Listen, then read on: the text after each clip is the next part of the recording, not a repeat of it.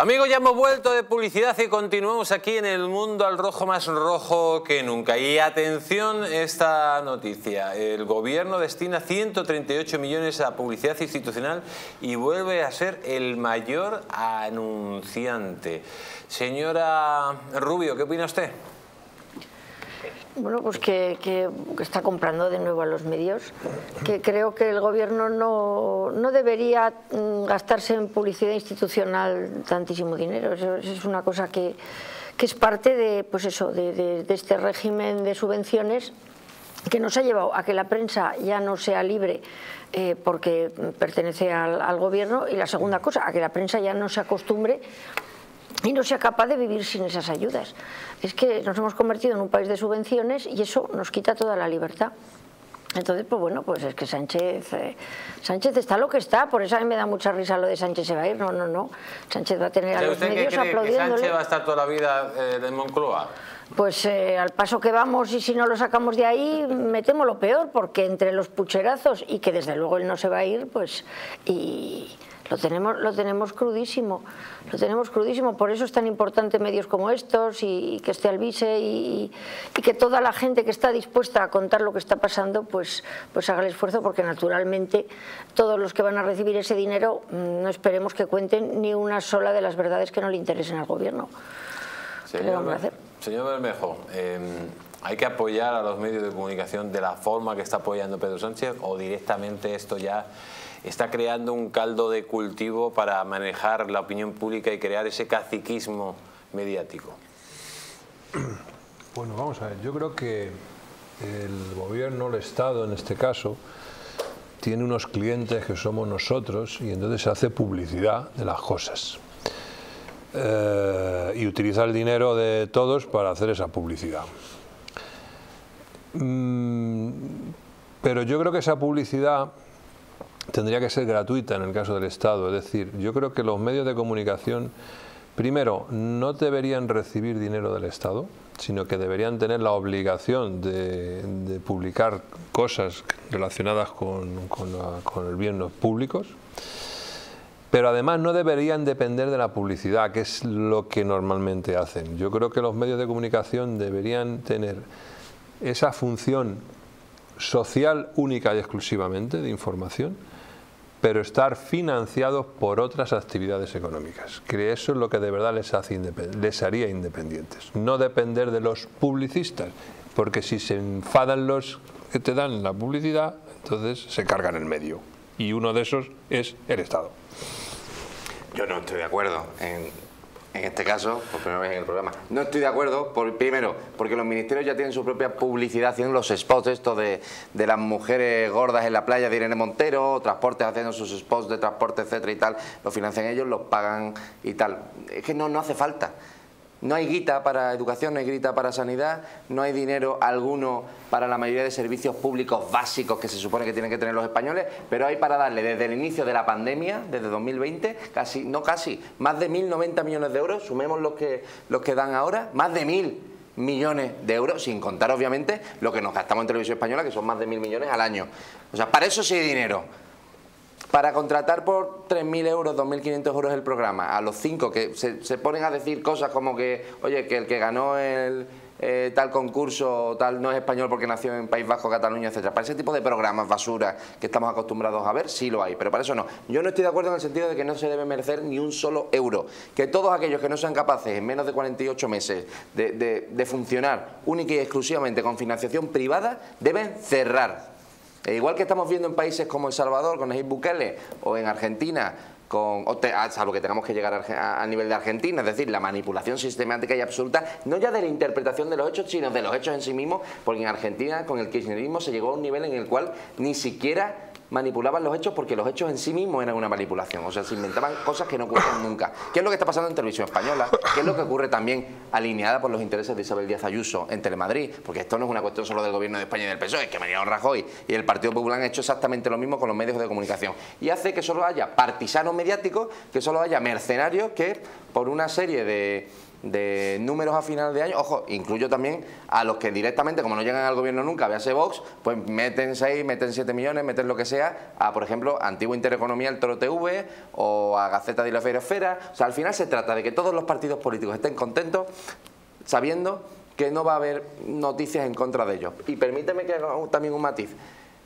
¿Y, y cómo los medios de comunicación se cuidan para no meterse entre ellos. Es decir, cuando hay un caso de corrupción, de que el otro día imputan por un delito a, a Oque Diario, por unos sobrecostes, en unos contratos del Ayuntamiento de Madrid, del señor Eduardo Inda, de su, de su pipiolo, el señor eh, Juan Carlos, el de las gafas azules, que es el, cobrador del frac de Oque Diario. Cuando hay problemas y corrupciones, o presuntas corrupciones, dentro de los medios de comunicación, aquí está todo el mundo callado, porque mientras a mí no me toquen mi, mi margen de publicidad, tú déjame tranquilo. Sea Tres Medias, sea Mediaset, sea Vocento, sea Prisa, sea... Pues eso, y las familias obviamente que están detrás con intereses económicos de estos grandes medios de comunicación, que son familias que llevan 35, 40 años siendo extraordinariamente poderosas y aquí ni un solo español sabe quiénes son. Y a lo mejor tenemos que hablar de ello. Por ejemplo, bueno, esto ya, ya hablo aquí, eh, en los años 90 eh, los medios sí han vivido, eh, había publicidad institucional, tenían su pensamiento ideológico, pero eran muchísimo más libres que, ahora, ¿no? Por ejemplo. No, y yo solo puedo profundizar en, en, estos argumentos. Al final debe ser que se nos ve el latiguillo ex naranjita, porque ahí sigue habiendo un problema en España de régimen y del PPSOE. O sea, todo esto que estamos relatando es el PPSOE. PPSOE, PPSOE, PPSOE, PPSOE. El PPSOE es el que se puso de acuerdo para quitar la publicidad de televisión española y así hacer que el mercado publicitario fuera mucho más pequeño y dárselo a sus amigos del duopolio de España, eh, a tres media y Mediaset España. Entonces, eso es uno de los defectos. Y, precisamente, pese a que nos, no paran de subirnos los impuestos, el MEI, el mecanismo de equidad intergeneracional que nos han vuelto a subir otra vez, otro poquito este mes, reduciéndonoslo de la nómina, yo soy uno de los que puedo certificar que esto a educación no va esto a educación no va. Y voy a ser muy concreto de lo que tampoco habla el Partido Popular porque no le da la gana. Se ha hecho la ley orgánica del sistema universitario, tiene un periodo de transición que acaba entre este final de curso y el curso que viene, no hay dotación presupuestaria, se tienen que transformar toda una serie de figuras del profesorado y no hay un chavo con la basura de ley que han hecho estos. Y están ahora mismo, está habiendo unas discusiones en todas las universidades públicas de España y unas tensiones enormes, porque se acaban una serie de figuras, se ponen otras nuevas figuras que hizo el señor eh, ministro eh, de Cataluña, el que vino después del Castells, el que hizo su, su estropicio, y luego vino Subirats, ha hecho esta ley y no hay dotación presupuestaria, las comunidades autónomas están dando dotación presupuestaria y la Universidad Española está patas arriba, patas arriba porque en algunas universidades hay figuras del profesorado que representan el 40% de la plantilla que ahora mismo se extinguen, nada más y nada menos. Esa es la ley de Castells y luego la ley de Subirats que no da presupuesto, porque este dinero ¿a dónde va? ¿A dónde va? Pues está yendo a estos medios, precisamente, a estos medios. Cero millones de euros de dotación presupuestaria en la LOSU para las nuevas figuras de profesorado y 130 y tantos millones de euros para eh, para otra vez los medios de comunicación. Eso es una vergüenza una vez que se hizo la tropelía terrible del PPSOE de quitarle la publicidad a Televisión Española, haciendo que Televisión Española sea más cara y que gentecilla que está en Televisión Española haciendo el argumentario del gobierno, cobra 450 euros la sesión, el rato. El rato cobra 450 euros la sesión. Que eso para que lo entienda la gente, hay profesores de universidad que necesitan dar un mes entero de clases. Eso es como nos han dejado el país esta gentuza. Porque es que no hay otra forma de llamarla. Y eso es contra lo que hay que oponerse, contra que haya una serie de impuestos que efectivamente sean para sanidad y educación, porque por cierto no es lo mismo ser liberales, como podemos ser antiqui, ser anarquistas, que también hay que ser imbécil para confundir esas dos cosas, y, eh, eh, quitárselo a, donde no tiene que ir, y a toda esa estructura hipercorrupta y a todo eso que está ahí, y esas duplicidades y todo eso, y que vaya el dinero a sanidad y educación, que es a donde tiene que ir y a dónde no va. Pues amigos, yo quiero enseñarles un vídeo porque el embajador de Irán hoy se ha negado directamente a estrechar la mano de la reina Leticia. Vamos a ver ese vídeo. Embajador de la República Islámica de Irán, embajador del Reino de Tailandia y señora Kanyapa. Pues teniendo aquí a una mujer como la señora Rubio, pues queríamos saber su opinión. ¿Qué, qué opina usted de estos gestos a estas alturas de la película, señora Rubio? Pues no, no, sé realmente, no sé qué pensar. Quiero decir que es una cuestión de protocolo. Si tiene que dar la mano, da la mano. Si, en ese país resulta que eso es un signo de respeto, pues porque, por ejemplo, los japoneses no dan la mano. Es que no sé bien el contexto. Yo no sé este señor si otras veces, si a otras señoras les da la mano, no le da ninguna, no lo sé. O sea, yo, mm, yo creo que, bueno, que todos merecemos el mismo trato y, y, que, y, que, luego, pues eso sí, los países tienen su forma de saludar eh, típica. Desde luego Irán, en el caso de la mujer, no, no, destaca, no destaca por la igualdad. Pues voy a ponerle otro vídeo, señora Rubio. Dice, el rey Felipe contesta con un vamos tirando a las felicitaciones del 56 cumpleaños. Véanlo.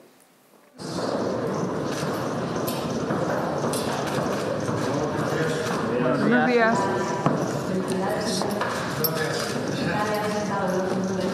Bueno, vamos tirando. Muchas gracias.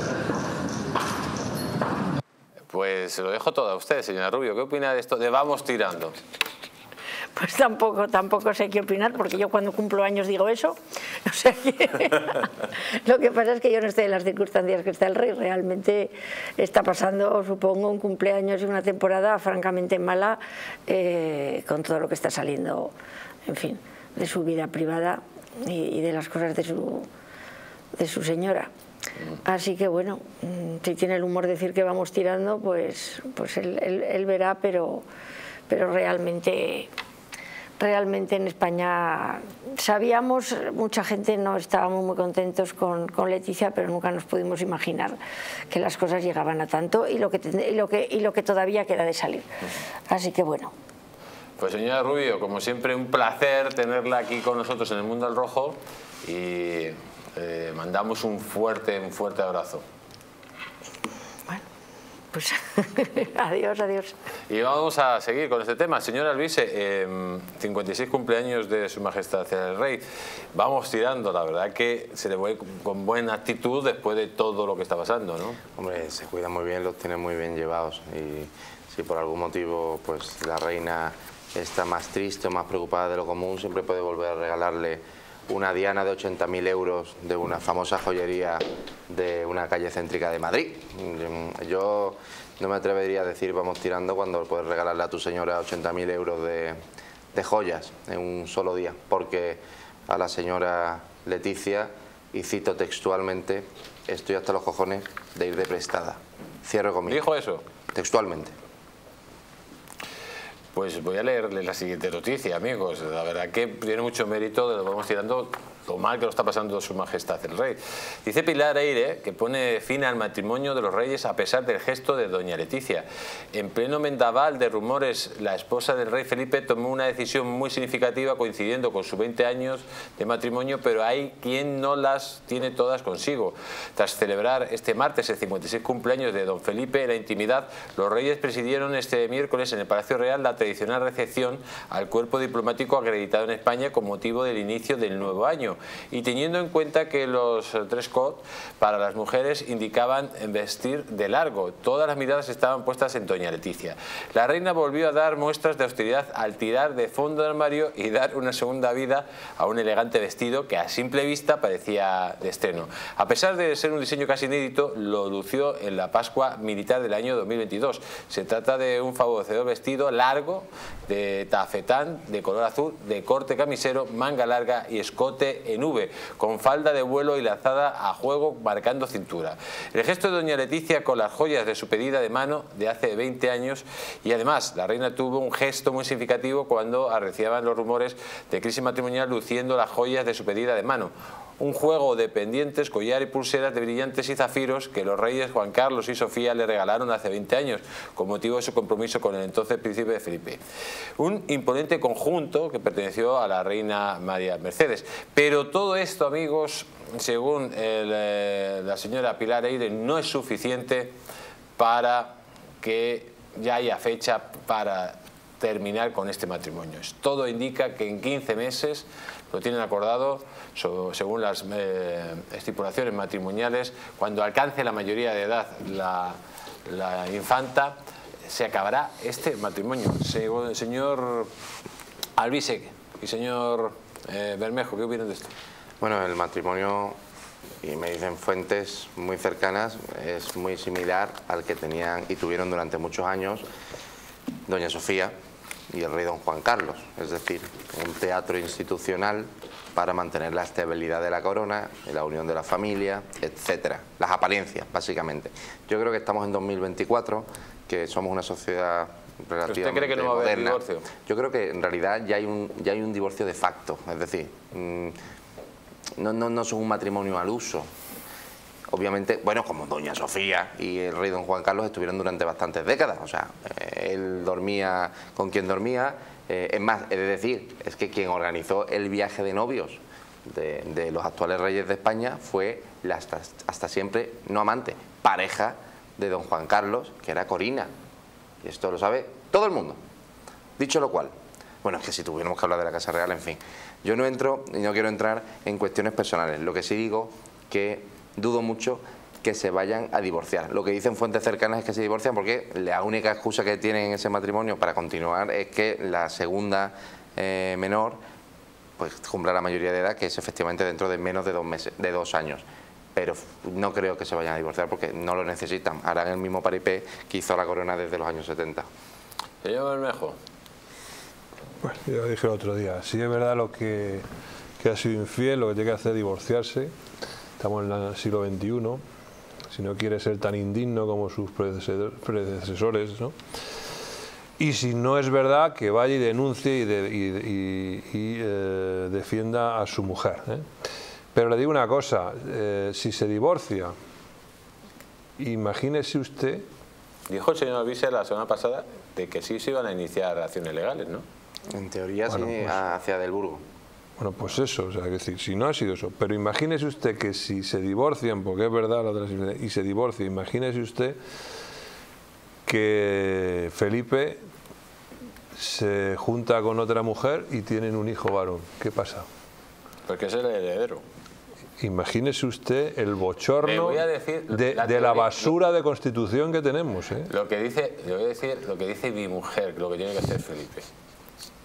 Dice directamente que se tiene que divorciar, buscarse otra mujer y tener un hijo varón. Pero mira, pero para que sea rey. mire, yo el otro no tenga día- nada que ver el rey de España con el Yo el otro día escuché a mi amigo Roberto aquí, que le entrevistó usted, no sé si fue ayer, ayer, antes de ayer, no sé cuándo, o la se- dijo, es que tenemos una constitución que es un, no, no sé Un cómo la bodrio. llamó, una, una piltrafa, una, no sé qué, y es que es verdad, es verdad, porque no se puede decir que somos todos iguales ante la ley en el artículo 14 y que luego hay un artículo, el de la corona, que es que dice que hay una persona inviolable y que luego dice ese, artículo, ese título 2 también que prevalece la corona, el, el varón sobre la mujer.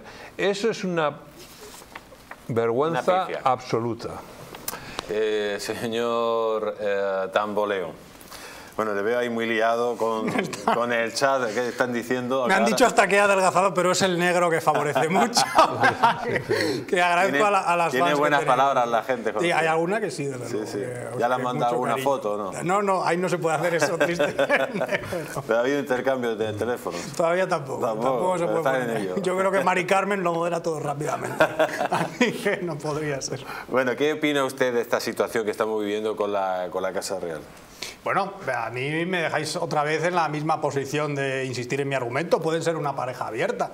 O sea, que, que- y mucho más con lo que había vivido con su eh, papá y su mamá. A lo mejor ya habían acordado desde un principio O sea, que no tenían por qué de la tener teoría señor esa fidelidad. ¿En qué sentido de la misma teoría? Sí, que bueno, que están separados de facto, pero Sí, que no van a sí, separarse. O que, o que incluso, de hecho. o, o sí, o- o incluso más allá, o sea, no solo estar separados ahora, que muy probablemente, y parece ser que lo están, sino que en un principio podían haber acordado tener otra serie de amistades. Pues amigos, queremos escuchar sus opiniones y para eso vamos a contactar con nuestro querido Nayib Guzmán. Adelante, Nayib. ¿Qué tal Jesús? Muy buenas noches para ti, para todos los tertulianos y también para toda la audiencia que nos sigue a través de las diferentes plataformas interactivas y por supuesto en los diferentes canales de la señal TDT. Vamos a empezar a leer esos comentarios y peripecias a través de las redes sociales. Comenzamos en YouTube. Jesús, y atención porque hoy los comentarios estuvieron rondando sobre muchos temas. En principio, Álvaro comenta, mi opinión es que se está tensando la cuerda por ambos lados y al final se romperá e iremos a elecciones. Eso es una opinión de Álvaro. Mientras tanto, María comenta lo siguiente respecto al aceite de oliva. El aceite de oliva español es más caro en España que en Alemania, Jesús. Blanca Rosa, esperemos que Marlasca no se quiera cargar a nuestros agricultores. Finalmente, en YouTube nos eh, llega este interrogante de parte de Marcos. España forma parte de la Unión Europea, pero si aprueban la amnistía, ¿qué puede hacer la Unión Europea por España? Pues hombre, yo creo que lo hemos visto aquí en este, en este programa. De momento eh, se puede hacer una acción prejudicial ante el Tribunal Superior de Justicia Europeo que la tumbaría. Se ha aprobado hoy una enmienda en la, Comisión de Justicia del Parlamento Europeo que dice que van a prohibir, por una directiva anticorrupción, van a prohibir directamente las amnistías de la malversación de fondos públicos y eh, están investigando desde el Comisión de Justicia ha dicho que están investigando la amnistía en España directamente, por lo tanto Europa se ha puesto las pilas. Ahora, lo que, nos tenemos que poner las pilas es aquí en España y utilizar las instituciones, instituciones que tenemos, como el Senado, eh, pues la Jefatura del Estado y todo lo que tengamos en mano, el Poder Judicial, para tumbar la amnistía sin depender de Europa directamente. Allí. Así es, Jesús. Muy recurrente el tema de la amnistía. Sin embargo, voy a leer otro comentario, pero propiamente de WhatsApp. Dice, Victoria, que qué indignación con el tema de la amnistía. Eh, de aprobarse sería el principio del fin de la democracia española, Jesús.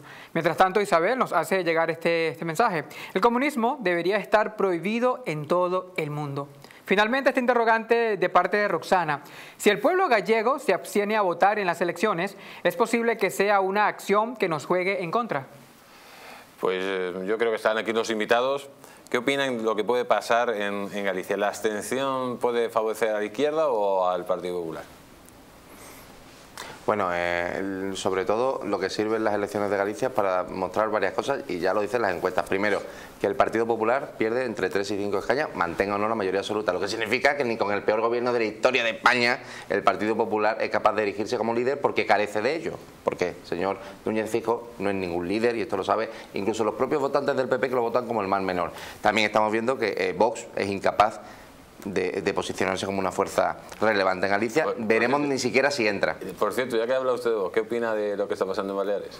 De don Jorge Campos, yo he hablado largo y distendido de Jorge Campos. Eh, estoy en contacto directo con sus mujeres, estoy en contacto directo con, con, gran parte de sus equipos, estoy en contacto directo con muchas personas de Vox y obviamente lo que ocurre aquí, lo digo claramente, es que Santiago Bajal hace más de ocho meses decidió junto con Iván Espirosa, que era el hombre de, Iván y tal, fue Iván de hecho quien les presentó, cortarle la cabeza a Jorge Campos. Y cuando le dicen que le van a cortar la cabeza, Jorge Campos dice, pues yo tengo unas grabaciones de la época de Actúa, de cuando vino Santiago Abascal, etcétera, y ahora voy a ir a por ti, Santiago. Y es la única explicación de por qué, además lo denuncia hoy en una carta, bueno, una filtración, lo denunció hace meses en secreto doña Patricia de las Heras, el líder de Vox Baleares, hasta que se le han cargado los, el equipo que obedece a Jorge Campos para que Jorge Campos esté en esa silla en el Parlamento español hasta que pueda cobrar los 10.000 y pico euros del Europarlamento más los 28.000 euros al mes en contratación de equipos, que es lo que quiere Jorge Campos. Esa es la realidad, que Jorge Campos, digamos que extorsiona, quizás una palabra muy dura, tiene audios que comprometen muy profundamente a Santiago Abascal Conde. Presuntamente extorsiona, lo digamos así. Eh, señor Nayir, adelante. Bueno, allí tienen, amigas y amigos, algunas de las respuestas a esas interrogantes que nos hacéis llegar a través de las diferentes plataformas interactivas. Jesús, será en otra oportunidad que seleccionemos esas preguntas, peripecias e interrogantes a lo largo del programa. Te regreso el pase para ti, será en otra oportunidad. Muy buenas noches. Pues muchísimas gracias, Nayin, por estar con nosotros y muy buenas noches. Y, lógicamente, pues vamos a darle una recomendación a todos ustedes. Hoy, pues la verdad que ha sido un programa de esos programas, de los pocos que tenemos últimamente, de muchas alegrías y por lo tanto pues no le van a salir arrugas. Pero imagínense que Sánchez se revuelve y mañana la vuelve a liar. ¿Para eso qué tenemos? ¿Para solucionarlo? ¿Para que no tenga arrugas? Pues tenemos colacel antios. Las arrugas superficiales, la flacidez o el descolgamiento de la piel son síntomas evidentes del envejecimiento, un proceso que a partir de los 40 años acelera al reducir la producción de colágeno por parte de nuestro organismo. Colacel antios de Mundo Natural es un complemento alimenticio que aporta colágeno, colágeno hidrolizado puro de alta absorción, antioxidantes, además de vitamina C, una vitamina esencial que contribuye a la formación de las proteínas de relleno de la piel, como son el colágeno, la elastina o la tropolastina. Confía en Colacel Antios mucho más que colágeno de venta en tiendas especializadas o llamando al 91-446-0000 o en parafarmaciasmundonatural.es. Colacel Antios y olvídese de arrugas. Y nos tenemos que ir. Señor Tamboleo, manual de sociología. ¿Dónde puedo encontrarlo? Y eh, háblenos de esa conferencia. Muy rápido, tiene usted 30 segundos. Pues muy rápidamente, en Amazon está, por supuesto, eh, se puede encargar también en cualquier librería, directamente a la editorial, Tirando Blanche, a la que también le agradezco aquí todo el apoyo y la organización también del acto de mañana. Mañana nos vemos en la calle Ardemans 66 eh, con amigos. Todos estáis Aforo libre. invitadísimos. Aforo libre hasta completar aforo, que es unas 100 personas. Pues ya saben, eh, las, las chicas de- del, del chat de YouTube que quieran conocer personalmente al señor Tamboleo, en vez de tanto mensajito, ahí lo van a tener todos. Señor eh, Alvise, un placer tenerle aquí. Un placer tenerme. Me gustaría despedirme con la noticia de última hora en Londres, un ataque, se entiende, terrorista con ácido contra al menos siete personas, dos de ellas niños.